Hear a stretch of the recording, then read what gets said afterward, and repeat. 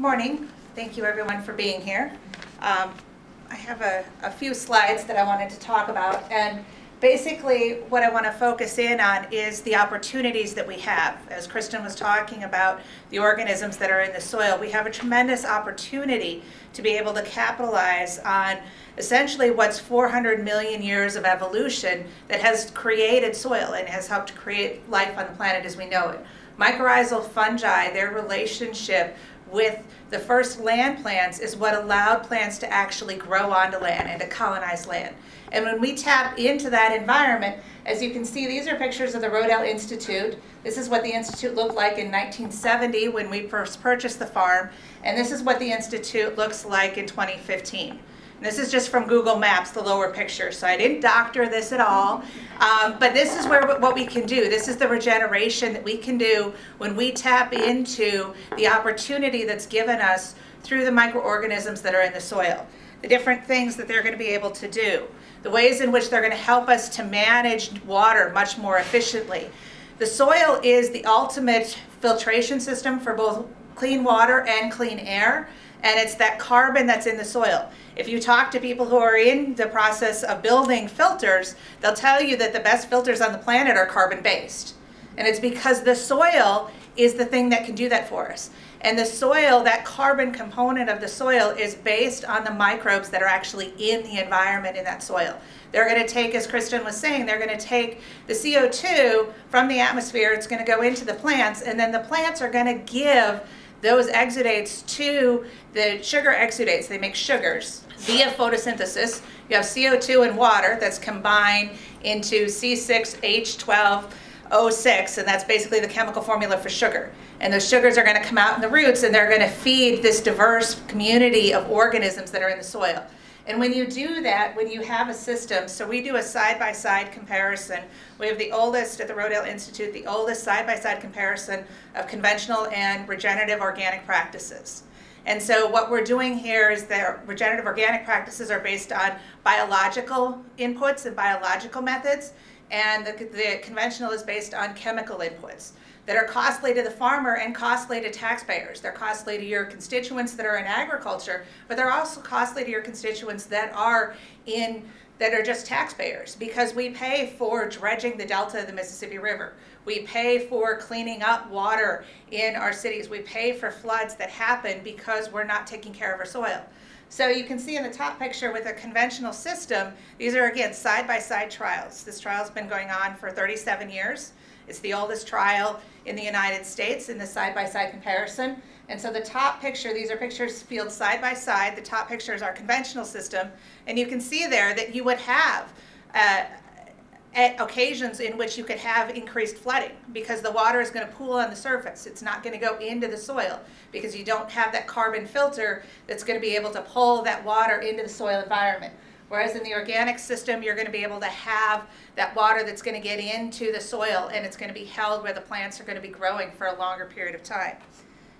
And that's advantageous in years when you have less precipitation. When we're talking about climate change, we're talking about issues with weather uncertainty. And you, we can debate about climate change and what that means, but the reality is, is that when you're, especially if you're a farmer, the one certainty you have in agriculture is that weather is going to be uncertain.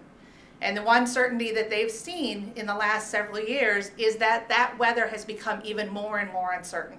That there are more prolonged periods of heavy rainfalls instead of getting gentle rain all day long that's going to infiltrate into the soil, you get heavy rainfall periods or you get prolonged periods of no rainfall. And that's what's really impacting our systems. So even back in 1995, again in this side-by-side -side trial, you can see that the organic system was able to out yield the conventional system. And so we may not be able to do that every year, but when we have adversity, which is what we're going to be facing, though tapping into these biological processes, tapping into the mycorrhizal fungi that co-evolved with the plants and have utilized that 400 million years of biological information is going to be the thing that's going to be able to help to grow this system and be able to help it to perform better. So this was in 95. This was in 2015. Again, these side-by-side -side trials. Uh, this farm is up in Pennsylvania, just outside of Philadelphia. And um, As you can see, most of the people in Pennsylvania in 2015 were experiencing what they consider to be a drought. Drought is not, it's not by definition, it's not a lack of precipitation. Drought is a scouting thing where various service agents are out there and scouting fields and they interpret the fact that because the fields look like that and because we've had not very much precipitation events, that that's going to be a drought situation. I had a colleague of mine basically say, well, what's the, what's the minimum amount of rainfall that's going to mean that you're having a drought situation? And I said, it's not based on that. It's based on what people see because that's how we categorize things and what we see above ground and not what's happening below ground. So these fields that are side by side, you can see that one looks like it's drought stressed and one looks like it's not drought stressed.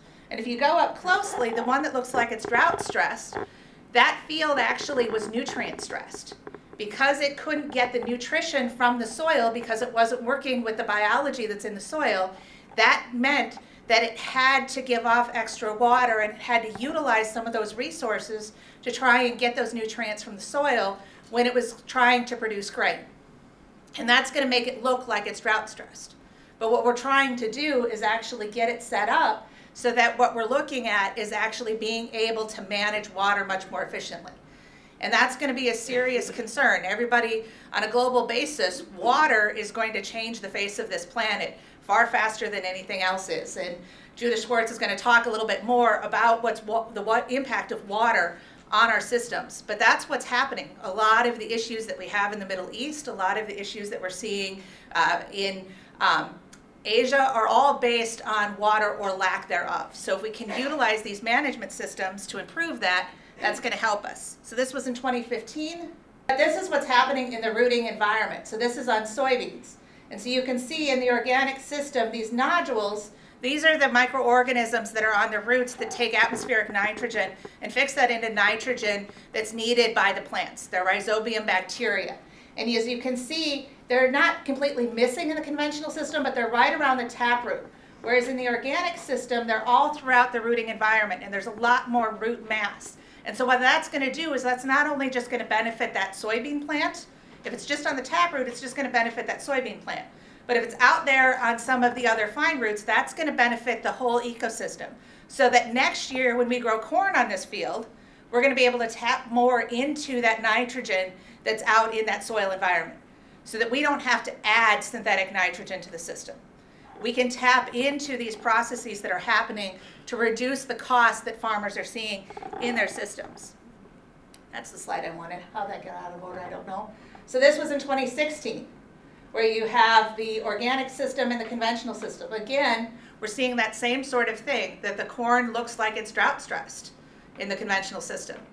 And that became even more later on in the season. So this was in early September. By the end of September, the conventional corn was all brown. And the organic corn was still green. In fact, we had trouble harvesting the organic corn because it stayed green for a longer period of time.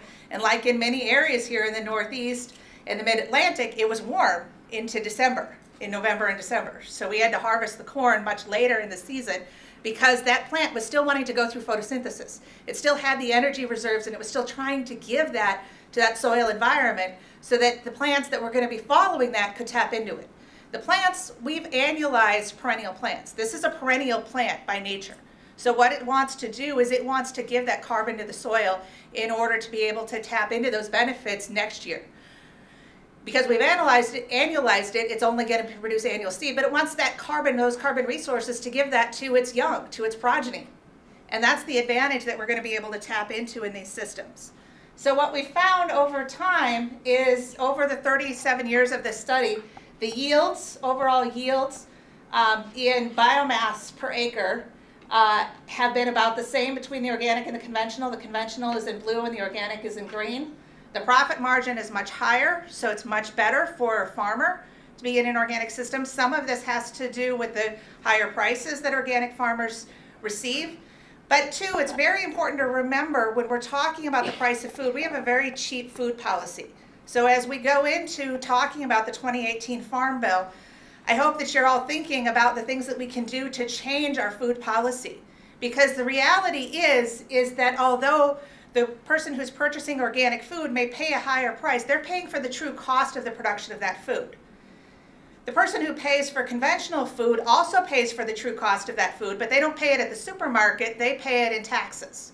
And as all of you probably know, most of your constituents don't want to pay more taxes. So what we're trying to do is we're trying to look at how we can get this so that we can tap into these things where people are going to be paying the true cost of the food at the grocery store and paying the farmers the true cost of production rather than us having to pay for the loss of ecosystem services. And so the energy that's used is much less in the organic system. So we're going to give off less greenhouse gases in the organic system than in the conventional system. So it's a much more positive type of system that we're going to have. And so basically what we want to do is the new green revolution, we need a new green revolution, but it doesn't actually need to be green. In the fact, we need to look at the plants. It actually needs to be a brown revolution. This is where agriculture needs to go, is these types of regenerative organic practices. And organic, in this case, is, is utilizing biologically based methods. So it's not some niche type of thing. It's actually something that's, that is something that all farmers can tap into, these carbon farmers that Kristen was talking about. So what we want to do, and this is NRCS, some NRCS principles that we have here, is we want to minimize the soil disturbance. That's going to help us to add, eh, it's going to help us to keep carbon, but not really add to carbon to the soil as much as if you add more diversity in your crop rotation, if you keep the soil covered, and especially keep the soil covered with maximizing living roots, getting that photosynthetic activity, having those green plants growing, taking carbon out of the atmosphere, and putting that below ground. And then the other thing that can be really important is to be inserting livestock or to be managing livestock. Some of the policies that we have looking at climate change issues are to take all of our livestock and put them indoors so that we can capture methane. We need to have these animals out on the landscape. We're looking at systems that ecosystems that have evolved together. And we're going to tap into that 500 million years of biological processes that are in the soil. And then we're going to tap into the biological processes that evolved later above the soil in helping the system work. So thank you very much.